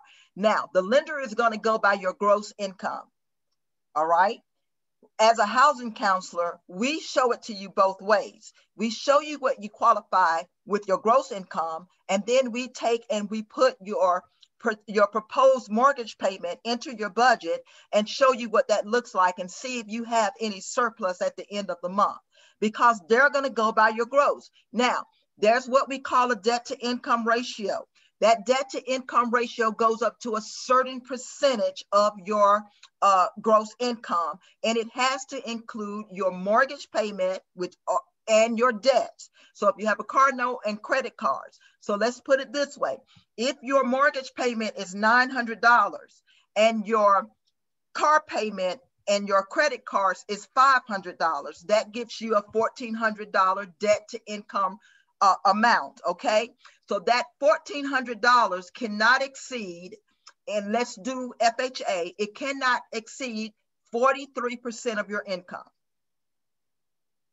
So what you would do is your gross income, you can use your income taxes and your annual or your annual amount divided by 12 and then multiply it by 43% and then take away the amount that's your debts, what you pay for your car note and credit cards, and then what's left over is what your mortgage payment should be. I hope that was helpful. Um, here's an interesting question about verification of employment. Um, is a verification of employment important to have up front or are two W-2s okay? Two years, they're gonna do a verification of employment. We call it a VOE. They're gonna do it regardless. And if you've had multiple jobs in those two years period, you're gonna need to list them all because they need to show a two-year history. Okay, very good. Question about rent to own programs, pros and cons. Um, Go ahead, I, Carol. I will work, I, I work with one investor and they're not rent to owns, but they're lease with an option to purchase. And you essentially are able to lease homes and pay just a regular rent for up to five years. And anytime during that five years, you can purchase that home. And it's all very upfront and it all, you know, details at what how much you will pay for that home at, at any given point. I think the pro to that is if you're someone who perhaps cannot qualify for a mortgage now, but you do have some income because you'll have to pay like a couple of months um, of your uh, security, rental security, and all of that. If you're able to do that, just as you're working towards increasing your credit score so that you can apply for a loan, I can see the positives in that you might find a property that you really love right? And if you're very close to being able to get a mortgage, you can take on some of that appreciation that's happening in the Atlanta market because that investor is going to charge you a little bit of an upside. Of course, they're going to make some money um, when you get ready to purchase it, but it might even out a little bit. It, given the way the the uh, the market is increasing in Atlanta. However, if you are a person who can get approved for a mortgage, I would always recommend moving forward and making the purchase. The other positive of that is if you're moving to a new city and you just want to sort of try out an area or a location before you make the commitment, I think that's also a good pro for a uh, rent to own. Okay, and let me see. I think I have 10 new messages. Thanks, everybody. You're doing great with your questions. I'm trying to read them as quickly as possible. Um, do you think, so there were, there were questions also, Carney, about um, down payment assistance in other counties like Henry County and I think maybe Rockdale. I don't know, don't know that there are specific programs just for those counties or if it's just Unfortunately, they do not have a, a, a down payment assistance program that I know of. That would, you would be covered by Georgia Dream. And keep in mind also that Henry County is considered one of the affluent counties. Um, and so you would need to do Federal Home Loan Bank uh, uh, down payment assistance, and that lender needs to be participating in that, or you would need to do Georgia Dream. Okay, here's a really good question. Uh, for a couple making a purchase, can one employment history be leveraged with the other higher credit score for approval? how do you evaluate a couple? So a couple is going to be evaluated. They both have to meet the minimum credit uh, requirements. They both have to. And as far as income, it doesn't matter if they're purchasing together. I always advise that if it's possible, one should buy the house and they, uh, based on their income if they can.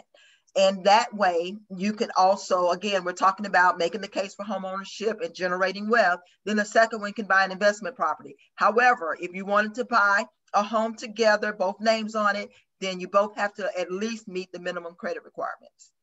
Okay, very good. Um, here's an interesting question. Um, suppose someone is moving out of state into Georgia. Are there state resident requirements for the down payment assistance programs? Must you be a Georgia resident for a certain amount of time?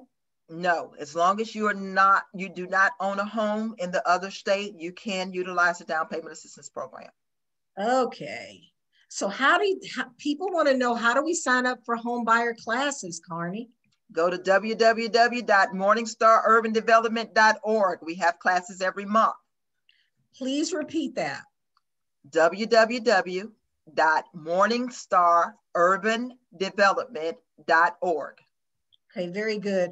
Or and, you can go to HUD.gov and and and um, Google housing counselors. Okay, very good. Um, okay, so someone wanted to see the F, uh, the USDA and the FHA slide again. So, and here's a question um, that I'm often asked. If I'm currently renting and I purchase a home, will I be able to break my lease? Well, I would suggest that you find out what the penalties are for breaking your lease before you start looking for a home, because there likely are. And some, some penalties are much more reasonable than others. So don't be surprised. Go ahead and find out on the front end what the penalties are. I concur. uh, let's see. There was one question about the program Divvy. Good to lease for three years and then buy or decide to sell and keep your equity. Can you have a co-signer or someone else on the title? I'm not at all familiar with Divvy. I'm so sorry. Are you familiar with Divvy? Never heard of it. D-I-V-V-Y. It's an acronym for something. Do you think the program is good to lease for three years and then buy and keep your equity? I think it really goes back to that whole notion of you know, are lease to purchase programs good? Or what are the pros and cons? And for some families, it's really good. I have worked with clients who have used those programs and then ultimately, when they were in a better position, purchased a home that they had been living in for a couple of years. So it really depends on your particular, you know, financial situation and your lifestyle. This person wanted to be in a certain school district, and so she that was the way that she achieved that goal. Let's see, with student loans on moratorium, if you've decided to be in forbearance, this is definitely for you, Carney. With student loans on, on for moratorium, if you've decided to be in forbearance, will they still count the past amount as debt or will it count as zero payment? It will, if you were making student loan payments before the moratorium came in, they're going to look at that particular payment and count it into your debt to income ratio. If you were on an income based repayment plan and that payment was zero, then they're going to look at that. But keep in mind, with FHA, it does not matter. If you're paying it or not paying it, they will look at it as 1% of the amount and they're going to count that into your debt to income ratio. And unfortunately, if your credit score is not where it needs to be at the point of being able to purchase a home, which is that 640, that's that's the golden number, um, ladies, it's the golden number, um, then you could be held up from purchasing a home if you're trying to do FHA. So go ahead on and just get the number, get the credit score. Okay, how about this? If married and I have a better credit score, can I just purchase under my name? Absolutely, if your husband agree with it. but here's the thing you can purchase it. I have clients do this all the time. Well, several I've had do this, um, especially if you have the income, but you can always put your husband's name on the title. You just can always go on the title. And let me just say this, and I hope I don't get in trouble for that. I've been doing real estate and mortgages and doing what I'm doing for almost 24 years. And I have sold more homes to women I don't know why it is. And then the other thing is, is that for some reason, women credit scores are higher than men. I've been married 36 years and my credit score has consistently ran higher than my husband's. Well, shout out to all the men with good credit scores. Okay. Yes. um, so um, yeah, you know, I, am not going to touch that with a, a 10 foot. Oh yeah, but um, but men have good credit scores, and I just don't know why the women's just run higher. But I'm just saying that's just been the case, and and with all due respect, sometimes it takes them a little longer to get it together. okay, so someone wants to know outside of Zillow, what are some good outlets to look for homes? You can always go to um, realtor.com, which is what I recommend because it's real time. Stay away. Zillow is good and realtor.com is good. Yeah, they're, they're both good. Um, what is, okay, so here are, I think we just answered this question, can a house be bought by just one spouse? So I think we've answered that. Here's a good question. What is Federal Home Loan Bank? Federal Home Loan Bank is a, a, it has to do with the Federal Reserve and there are banks that are um, that have a affiliation with them and they are fda insured banks normally and they are a uh, down payment assistance program. They allow a certain amount of money to those particular banks for home ownership. And listen uh, we didn't talk about federal home loan um, bank. That's because it's lender specific. It's not necessarily a program but it is assistance. And um, they just increased their loan limits. I mean, their um, down payment assistance limits. So it used to be 5,000, it's now 7,500. And if you are one of the uh, healthcare professionals, frontline workers, it's up to $10,000 now. They just did that this month. As we're going into the next question, if someone would put Carney's uh, information back on the screen, someone has asked for that and that'll probably be helpful. Uh, here's a really good question about folks that are self-employed. How do lenders evaluate self-employment income? You're gonna need two years of tax returns. They take the total of your adjusted gross income and they average the two. And that'll be how much money you, I mean, how much house you qualify for based on your debt to income ratio. Okay if you pay off credit cards, are they still considered a payment that will be included in your debt to income? No, they do not. Nor will if you if you pay any debt under 10 months, it's not considered into your debt to income ratio. Okay, very good. And then someone's asking, can I apply for FHA and conventional? Which one would you recommend?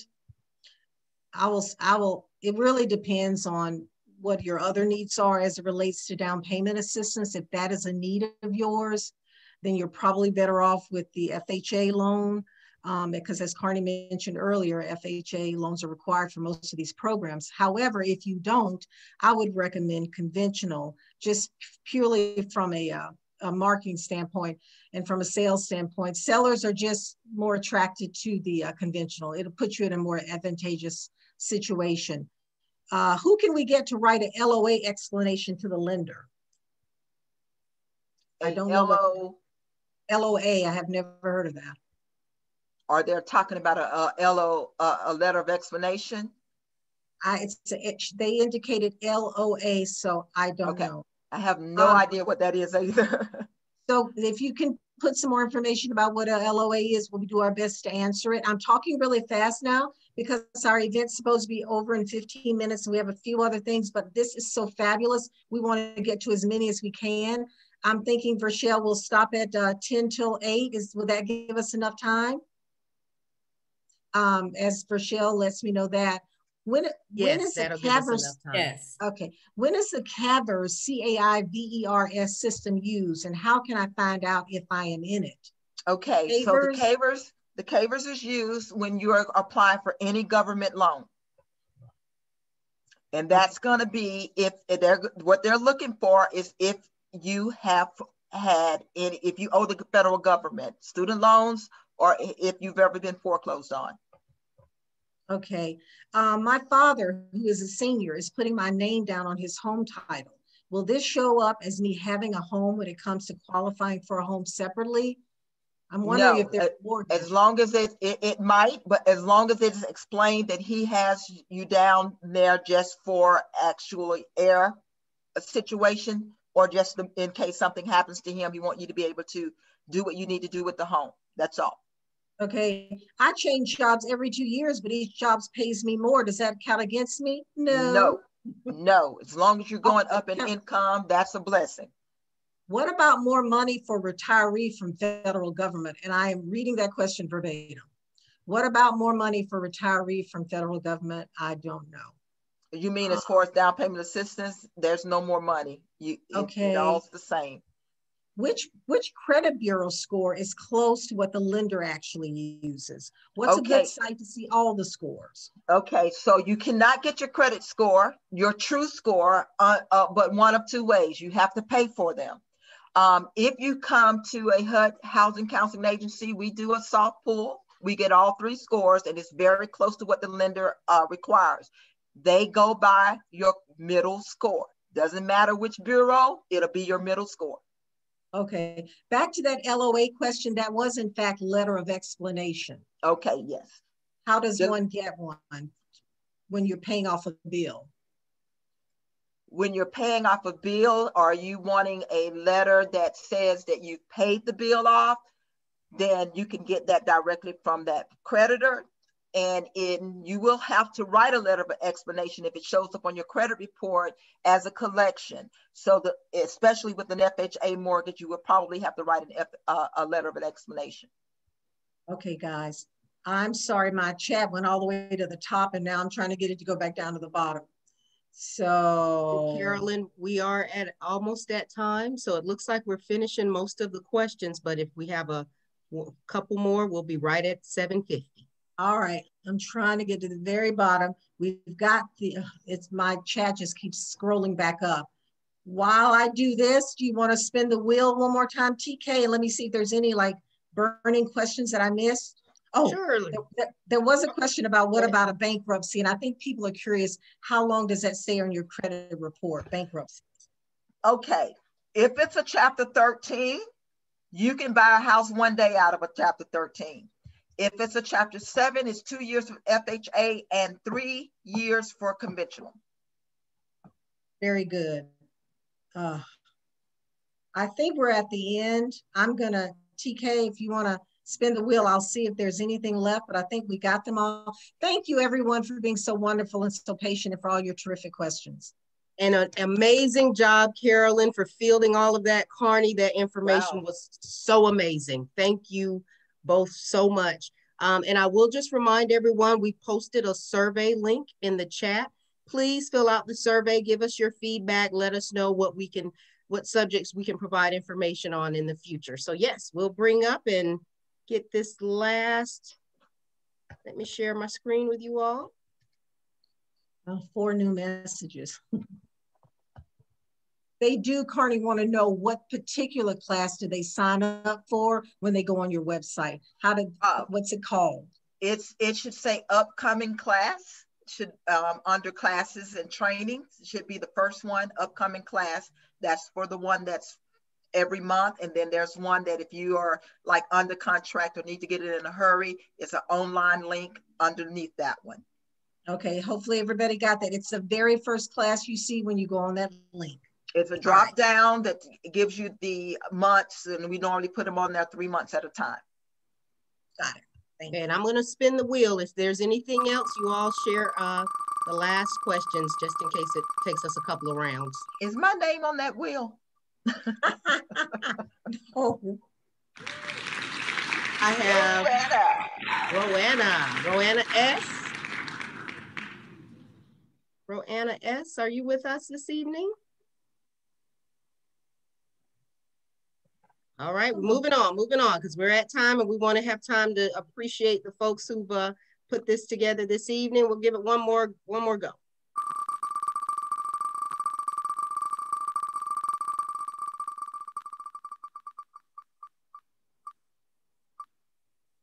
a lot of names. I, that's my name, yes. That's oh my hilarious. God. I want it. How did you do that? Speak it into being, right? Hey. How about that? I think that's a great place to end the wheel. Thank you, Carney, for all your information. And that's awesome.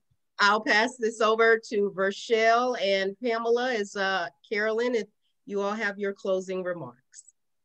That's Carney, Carney, if you could go back to your screen and share our sponsor spotlight. Carney has the screen and we will share again her screen to share with everyone who our sponsors were for tonight. So look at that. One of our sponsors was not only our soror, but a very experienced realtor. So let's everyone give a virtual hands up to Carolyn Lake. You did a fantastic job fielding those questions and answering the questions and just all of the contributions that you've added during this whole process. It's been wonderful working with you. And I look forward to more because you really, really pulled your weight on this. So oh, I appreciate so You're the best, Rochelle. Thank you. It's been fun. All right. And our next sponsor spotlight was none other than, can you believe it? Our presenter today was also one of our sponsors. Can I just say this young lady dropped the mic? I need someone to put in the room, put in the chat, knowledge is power. I need somebody to type that for me. Knowledge is power. Oh, yes, I see it. I see it. Can someone also put in the chat? She did that. She did that. Carney, thank you so much on behalf of, and let me get to share my screen if I can. And hold on one moment. Let me just share my screen.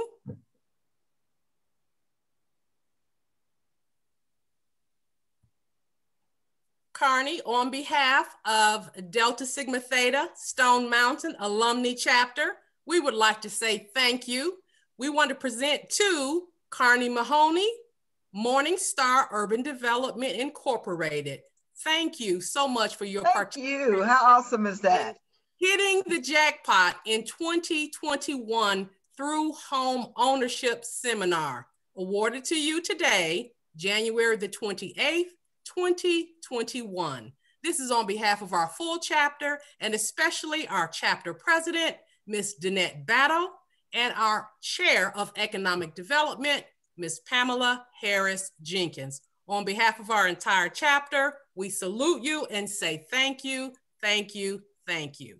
Thank you. Thank you for allowing me to be a part. I really appreciate it. All right. And so with that, I will turn this mic and this event over to our chair, Pamela Harris Jenkins. Thank you. Okay. Thank you, Carney. Thank you, Carolyn. Thank you, Rochelle. Awesome job. At this time, I would be remiss if I didn't give our chapter president an opportunity to thank you in person, Carney, and everyone else on the team. We in economic development, we're always looking for ways to uplift our community. This is one way we know home ownership is the beginning of wealth and how to grow it and appreciate it. We want it to be a lifelong lesson. So we are the committee that likes to teach people how to fish. So yes. with that, you have been part of our fishing expedition, Carney, and we will welcome you as an honorary member of Stone Mountain's Economic Development Committee at any time. Oh, wonderful yes, I concur with that, Carney. we thank you so very much for sharing that wealth of information. And one of the points I'm going to take away from this is the very first slide you show as far as the generational gap, as far as home buying. So, and it, it shows you the gradual decline. And as you um, saw Pamela Harris Jenkins stated, we have to realize too, if nothing else, and unless this is last COVID, we should know the disparities that minorities, brown people of color are undergoing, and it's just brought it to light what we already knew all along. So with home buying, you do get into wealth building, individual wealth building. So I hope if nothing else, we all take away a point about as far as building our individual wealth. Again, thank you, Carney. Thank you, Carolyn. Thank you, Pamela Harris Jenkins, TK, and Michelle our hostess with the mostest, thank you so very much. And to all of the guests, I do hope that you also would take this away with you and share the information because you know we, we can't just hold on to it. We have to share it. So, because we want to build a strong community as a whole. But again, thank you all so very much. Be safe out there. And I'll turn it back over to our very, very astute and well-loved chair, Pamela Harris Jenkins of Economic Development. Thank you, Danette. Please be on the lookout. We will be posting uh, a recording of this program to the chapter's YouTube page. So stay connected with SMLAC, hashtag. We're on every social media. And since I don't know much about it, I'm going to stop here. Okay. Deborah, if you Okay, speaking of, we have to also extend thank you to our um, technology chair, sorry, Deborah McLeod. She's a, she does this every time and she put out the survey. I think, yeah, she's showing the survey. So we hope you take advantage of that and take the survey. So you let us know how we're doing. Thank you. Awesome. If there's nothing else, again, thank you all for attending. Look forward, stay tuned to SMLAC's website where we're always doing exceptional jobs in all areas of our community. Our five-point programmatic thrust is alive and well and online. Thank you very much. Have a good evening. Thank you all. Good night. Good night. Thank you all again. Good night, everybody. Thank you. Don't forget about the survey.